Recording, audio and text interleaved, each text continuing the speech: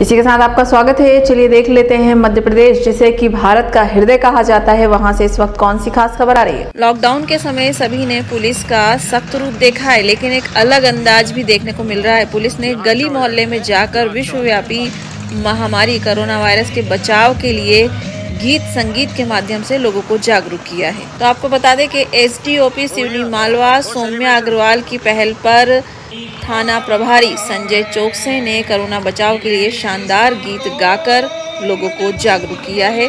इसके साथ साथ अन्य व्यवस्थाएँ भी पुलिस संभाल रही है।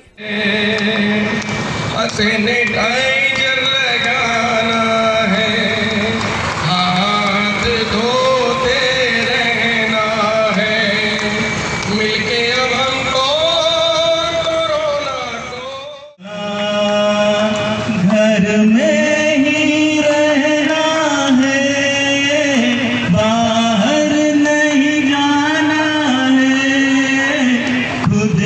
Peter.